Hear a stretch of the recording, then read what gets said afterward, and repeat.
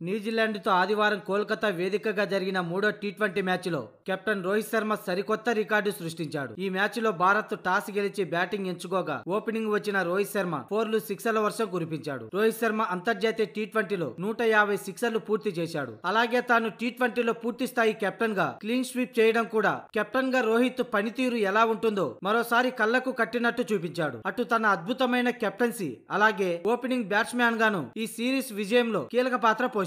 ఇలా తన మొదటిసారి పూర్తి స్థాయి కెప్టెన్గా టీ ట్వంటీలో తన ప్రదర్శనపై పాకిస్తాన్ మాజీ ఆటగాడు కమ్రాన్ అక్మాల్ ప్రశంసలు కురిపించాడు. ముందుగా భారత జట్టు ఎంపిక చాలా బాగుందని అక్మాల్ అన్నాడు. యువకులతో తన కెప్టెన్సీ మార్కుతో రోహిత్ శర్మ నడిపించిన తీరు అద్భుతమని కొనియాడాడు. వరల్డ్ కప్లో ఓటమి తర్వాత భారత్ ఇలా పుంజుకొని ఆడటం అందులోని సీనియర్లు లేకుండా రోహిత్ శర్మ యువకులతో ఆడించిన తీరు అద్భుతమని అన్నాడు. కీలక ఆటగాళ్ళైన కోహ్లీ బుమ్రా షమి రవీంద్ర జడేజా వంటి ఆటగాళ్ళు లేకపోయినా టీంను రోహిత్ శర్మ చాలా అద్భుతంగా నడిపించాడని కమ్రాన్ అక్మాల్ అన్నాడు. టీ ట్వంటీ ప్రపంచ కప్లో ఫైనల్కు చేరిన కివీస్ను ఓడించడం బాగుందని అన్నాడు. ఈ విజయంలో క్రెడిట్ మొత్తం రోహిత్ శర్మ అలాగే కోచ్ రాహుల్ ద్రావిడ్కు చెందుతుందని కమ్రాన్ అక్మాల్ అన్నాడు. అలాగే పాకిస్తాన్ మాజీ ఆటగాడు అఖ్తర్ కూడా రోహిత్ శర్మ కెప్టెన్సీపై ప్రశంసలు గుప్పించాడు. వరల్డ్ కప్ కంటే ముందే రోహిత్ శర్మకు కెప్టెన్సీ బాధ్యతలు అప్పజెప్పాల్సి ఉందని అయినా పర్వాలేదు. మరో ఏడాది కాలంలో వరల్డ్ కప్ ఉన్నందున రోహిత్ శర్మకు కెప్టెన్సీ బాధ్యతలు అప్పజెప్పడం సరైన నిర్ణయమేనని షోయబ్ అఖ్తర్ అన్నాడు.